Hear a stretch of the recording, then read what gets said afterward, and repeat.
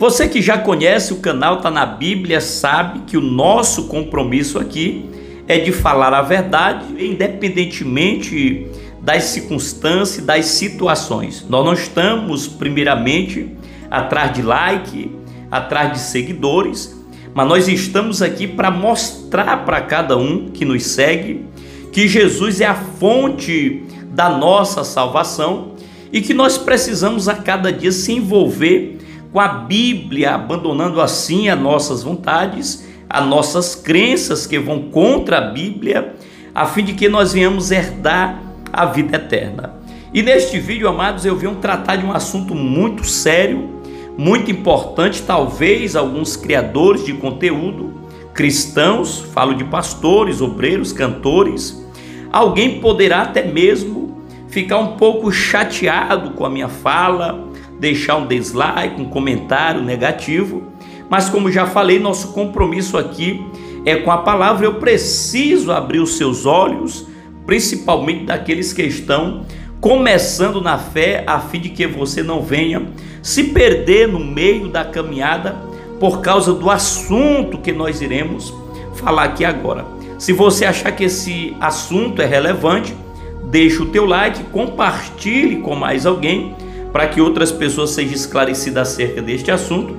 E se quiser se sentir no seu coração, se inscreva no canal e acione o sininho das notificações para não perder nada por aqui.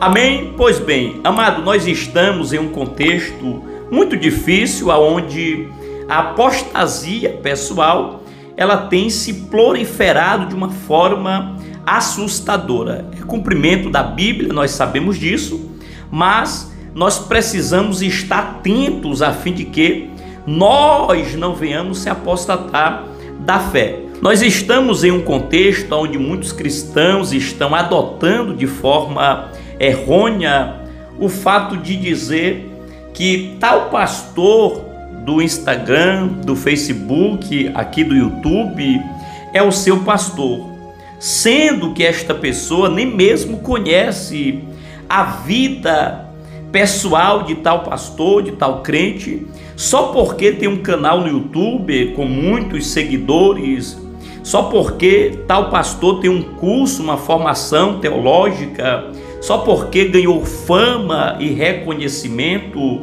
só porque prega bem, canta bem, alguém já começa a dizer que aquela pessoa é o seu pastor, a falar que aquela pessoa é um homem, uma mulher de Deus pelo fato dele pregar algumas verdades da Bíblia Sagrada, pelo fato dele ser reconhecido e conhecido pelo homem. Nós precisamos ter cuidado. Se você é inscrito aqui no canal, está na Bíblia, você precisa entender que eu não sou o teu pastor. Eu estou aqui simplesmente, de certa forma, contribuindo para o teu crescimento e desenvolvimento espiritual naquilo que concerne a Bíblia Sagrada, a não ser que você congrega comigo na igreja aqui na cidade de Parnarama. Eu acredito que a maioria que está vendo este vídeo ou que irá ver este vídeo são pessoas que congregam em uma igreja local. Então, o teu pastor é aquele daquela igreja. Você precisa, nós precisamos aprender a se alimentar nas redes sociais naquilo que está sendo dito, pregado, cantado, nós precisamos examinar tudo, tirando bem para a nossa vida. Mas nós não podemos esquecer que nós temos um mentor, um tutor. A Bíblia diz em Hebreus capítulo 13, versículo de número 7 o seguinte: Lembrai-vos dos vossos pastores que vos falam a palavra de Deus a fé dos quais imitai, atentando para a sua maneira de viver. Eu quero perguntar para você que está me vendo aí agora, quem sabe de fora do Brasil, de um outro estado que não seja o Piauí, o Maranhão, que talvez não me conheça pessoalmente. Como você vai atentar para a minha forma de viver se você não está convivendo comigo? Se você não conhece a minha procedência? E infelizmente muitas pessoas estão seguindo e até mesmo idolatrando pastores aqui na plataforma do YouTube. e daqui a pouco, infelizmente, acabam sendo decepcionados por conta de algum escândalo que surge envolvendo o nome dessas pessoas. É por isso que eu venho aqui trazer essa alerta e dizer para você que você tem um pastor na tua congregação. Por mais que ele não seja um homem tão dotado de conhecimento, de habilidade, dons, como pessoas que você segue aqui na plataforma do YouTube ou em outras redes sociais, mas você conhece a forma, a maneira que ele está vivendo. E a Bíblia diz que a estes que estão trazendo para nós a palavra da verdade, a palavra de Deus, nós devemos atentar para a sua maneira de viver. Nós devemos imitá-lo quando este procede de forma que louva e enobrece o nome do Senhor. Muito cuidado, irmãos, muita vigilância. Eu digo isso principalmente para os novos convertidos, para daqui a pouco você não ficar impressionado com a sabedoria de alguém aqui no YouTube ou em outra rede social, é sobre isso que nós estamos falando, ou pelo dom de profecia, operação de maravilha, dons de curar, enfim, o talento que Deus os deu para ganhar almas e edificar vidas para o seu reino, e assim comece a se deixar levar pela ciência, pela forma que Deus usa tal homem, e venha se apostatar, se perder no meio da caminhada. Cuidado, vigia. Você tem um pastor aí na tua cidade que congrega junto com você, que te conhece pessoalmente, você o conhece pessoalmente. Tá precisando de um conselho? Muito cuidado quando vir buscar um conselho aqui no YouTube, no Facebook, no Instagram, em outra rede social. Por mais que você peça um conselho a alguém, mas vai lá onde o teu pastor, pergunta para ele, busca conselho nele, porque ele vai saber te direcionar, porque ele te conhece muito bem. E eu tenho certeza que se ele é um homem de Deus, ele vai te direcionar pelo caminho que o levará à paz. Amados, eu deixo essa alerta ao seu coração.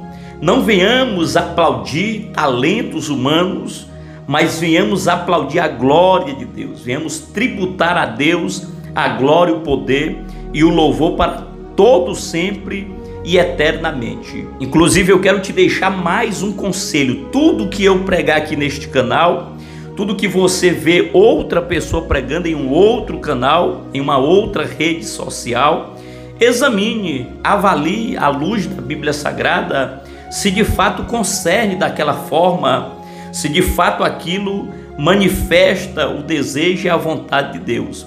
Não se deixe levar só pelo que eu falo, só pelo que outros pregadores falam, porque o homem está sujeito a se perder no meio da caminhada. Infelizmente, muitos homens começaram bem e estão terminando mal. Muitos homens, até mesmo aqui na plataforma do YouTube, muitos youtubers estão trocando a vontade de Deus, o propósito de Deus, se perdendo na caminhada por causa da fama, por causa do dinheiro, do reconhecimento.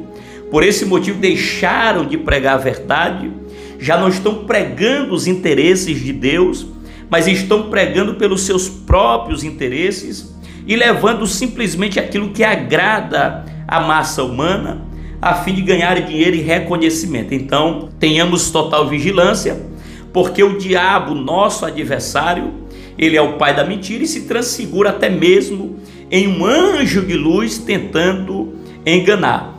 Vigilância total em nome de Jesus. Eu quero que você feche os teus olhos aí agora e eu quero orar com você neste momento para que Deus venha abrir o nosso entendimento o nosso coração para que nós venhamos compreender inteiramente os desígnios de Deus para nossas vidas. Oremos. Eterno Deus e soberano Pai, na tua presença nós entramos neste momento.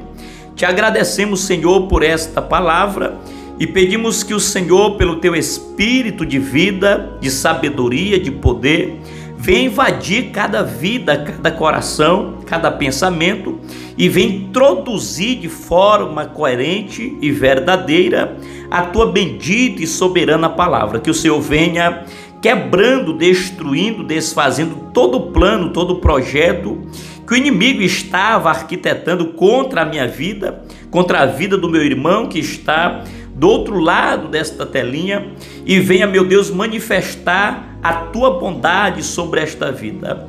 Dá-lhe sabedoria e discernimento espiritual, faz com que venhas crescer em graça e conhecimento da verdade para o teu louvor. Senhor, abençoa cada um e guarda em nome de Jesus. Amém.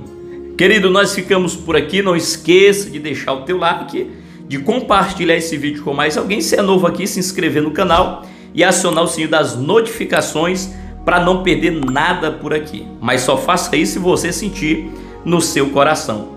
E nos encontraremos aqui amanhã, permitindo o nosso Deus. Até lá.